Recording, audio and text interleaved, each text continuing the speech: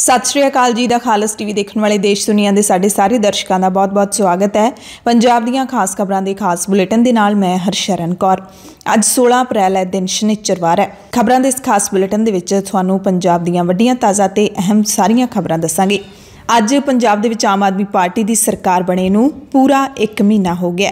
ਪਿਛਲੇ 16 ਮਾਰਚ ਨੂੰ ਮੁੱਖ ਮੰਤਰੀ ਭਗਵੰਤ ਸਿੰਘ ਮਾਨ ਨੇ ਖੜਕੜ ਕਲਾਂ ਦੇ ਵਿੱਚ ਬੜੇ ਸ਼ਾਨੋ ਸ਼ੌਕਤ ਦੇ ਨਾਲ ਅਹੁਦੇ ਦੀ ਸਹੁੰ ਚੁੱਕੀ ਸੀ ਤੇ ਅੱਜ ਸਰਕਾਰ ਦੇ ਵੱਲੋਂ ਪੂਰਾ 1 ਮਹੀਨੇ ਦਾ ਰਿਪੋਰਟ ਕਾਰਡ ਪੇਸ਼ ਕੀਤਾ ਜਾ ਰਿਹਾ ਹੈ। ਤੁਸੀਂ ਦੇਖੋਗੇ ਅੱਜ ਦੀਆਂ ਅਖਬਾਰਾਂ ਦੇ ਵਿੱਚ ਵੱਡੇ ਵੱਡੇ ਜਿਹੜੇ ਇਸ਼ਤਿਹਾਰ ਛਪੇ ਹੋਏ ਨੇ ਕਿ 1 ਮਹੀਨੇ ਦੇ ਵਿੱਚ ਆਮ ਆਦਮੀ ਪਾਰਟੀ ਦੀ ਨਵੀਂ ਸਰਕਾਰ ਨੇ ਕੀ ਕੁਝ ਕੀਤਾ ਹੈ। ਇਹਨਾਂ ਇਸ਼ਤਿਹਾਰਾਂ ਦੇ ਵਿੱਚ ਸਭ ਤੋਂ ਪਹਿਲੇ ਨੰਬਰ ਤੇ ਇੱਕ ਵੱਡਾ ਐਲਾਨ ਲਿਖਿਆ ਹੋਇਆ ਜਿਸ ਦਾ ਹਲੇ ਅੱਜ ਐਲਾਨ ਕੀਤਾ ਜਾਣਾ ਹੈ। ਤੇ ਇਹ ਐਲਾਨ ਹੈ 1 ਜੁਲਾਈ ਤੋਂ 300 ਯੂਨਿਟ ਮੁਫਤ ਬਿਜਲੀ ਦਾ ਐਲਾਨ।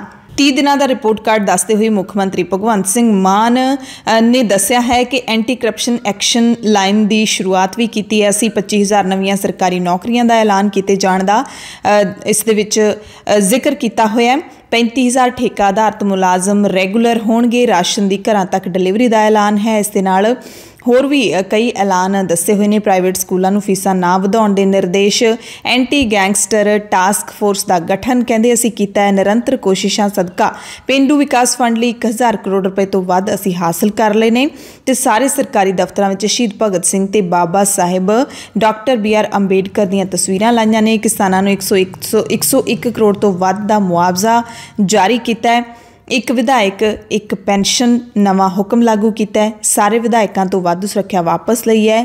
23 ਮਾਰਚ ਨੂੰ ਸ਼ਹੀਦੀ ਦਿਵਸ ਮੌਕੇ ਸਰਕਾਰੀ ਛੁੱਟੀ ਕੀਤੀ ਗਈ ਹੈ। ਹਰ ਸਾਲ ਹੋਇਆ ਕਰੇਗੀ।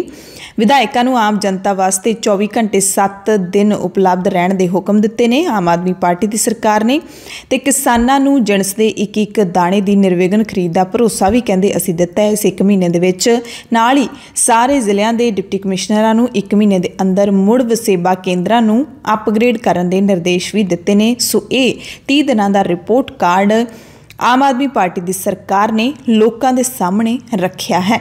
ਸਰਕਾਰ ਨੇ 300 ਯੂਨਿਟ ਮੁਫਤ ਬਿਜਲੀ ਦੇਣ ਦੇ ਲਈ ਤਿੰਨ ਨੁਕਾਤੀ ਫਾਰਮੂਲਾ ਤਿਆਰ ਕੀਤਾ ਹੈ, ਜਿਸ ਦਾ ਐਲਾਨ ਅੱਜ ਰਸਮੀ ਤੌਰ ਤੇ ਕੀਤਾ ਜਾਵੇਗਾ। ਇਹ ਸਹੂਲਤ 1 ਜੁਲਾਈ 2022 ਤੋਂ ਮਿਲਣੀ ਸ਼ੁਰੂ ਹੋਵੇਗੀ।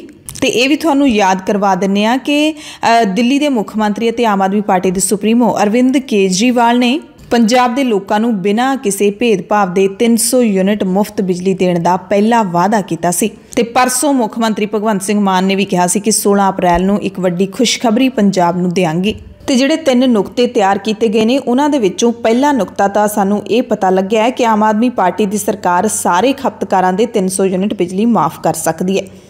ਦੂਸਰਾ, ਇਹ ਪਤਾ ਲੱਗਿਆ ਕਿ ਸਿਰਫ ਉਹਨਾਂ ਖਪਤਕਾਰਾਂ ਨੂੰ ਹੀ ਮੁਫਤ ਬਿਜਲੀ ਦਿੱਤੀ ਜਾਊਗੀ ਜਿਨ੍ਹਾਂ ਦੀ ਖਪਤ 300 ਯੂਨਿਟ ਤੱਕ ਹੀ ਰਹਿੰਦੀ ਹੈ।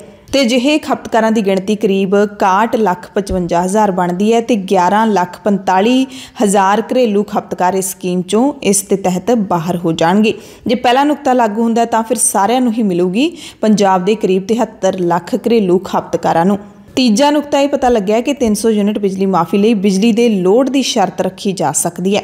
ਸੋ ਹੁਣ ਇਹਨਾਂ ਤਿੰਨਾਂ ਦੇ ਵਿੱਚੋਂ ਐਲਾਨ ਕਿਹੜਾ ਹੋਊਗਾ ਉਹ ਅੱਜ ਆਪਾਂ ਨੂੰ ਪਤਾ ਲੱਗ ਹੀ ਜਾਣਾ ਹੈ ਹਾਲਾਂਕਿ ਕੱਲ ਅਸੀਂ ਇਸ ਤੇ ਲਾਈਵ ਪ੍ਰੋਗਰਾਮ ਵੀ ਕੀਤਾ ਸੀ ਸਾਡੇ ਦਰਸ਼ਕਾਂ ਦੀਆਂ ਸਲਾਹਾਂ ਵੀ ਲਈਆਂ ਸੀ رائے ਲਈ ਸੀ ਤਾਂ ਉਹ ਕਹਿੰਦੇ ਸੀ ਕਿ ਮੁਫਤ ਬਿਜਲੀ ਦੀ ਬਜਾਏ ਇਹ ਸਸਤੀ ਮਿਲਣੀ ਚਾਹੀਦੀ ਹੈ ਤੇ ਮੁਫਤ ਸਾਰਿਆਂ ਨੂੰ ਨਹੀਂ ਦੇਣੀ ਚਾਹੀਦੀ ਜਿਹੜੇ ਲੋੜਵੰਦ ਨੇ ਉਹਨਾਂ ਨੂੰ ਮਿਲਣੀ ਚਾਹੀਦੀ ਹੈ ਬਾਕੀਆਂ ਜੇ ਬਾਕੀ ਜਿਹੜੇ ਬਿੱਲ ਭਰ ਸਕਦੇ ਨੇ ਉਹਨਾਂ ਨੂੰ ਇਸ ਸਹੂਲਤ ਦੀ ਕੋਈ ਜ਼ਿਆਦਾ ਲੋੜ ਨਹੀਂ ਇਹ ਵੀ ਤੁਹਾਨੂੰ ਦੱਸ ਦਿੰਨੇ ਆ ਕਿ ਹੁਣ ਇਸ ਵਕਤ 22 ਲੱਖ ਐਸੀ ਖਪਤਕਾਰਾਂ ਨੂੰ ਪਹਿਲਾਂ ਹੀ 200 ਯੂਨਿਟ ਬਿਜਲੀ ਮਾਫ ਦਿੱਤੀ ਜਾ ਰਹੀ ਹੈ ਤੇ 7 ਕਿਲੋਵਾਟ ਲੋਡ ਤੱਕ ਵਾਲੇ ਖਪਤਕਾਰਾਂ ਨੂੰ ਪ੍ਰਤੀ ਯੂਨਿਟ 3 ਰੁਪਏ ਬਿਜਲੀ ਸਸਤੀ ਦਿੱਤੀ ਜਾ ਰਹੀ ਹੈ, ਇਸ ਦਾ ਐਲਾਨ ਪਿਛਲੀ ਚੰਨੀ ਸਰਕਾਰ ਨੇ ਕੀਤਾ ਸੀ।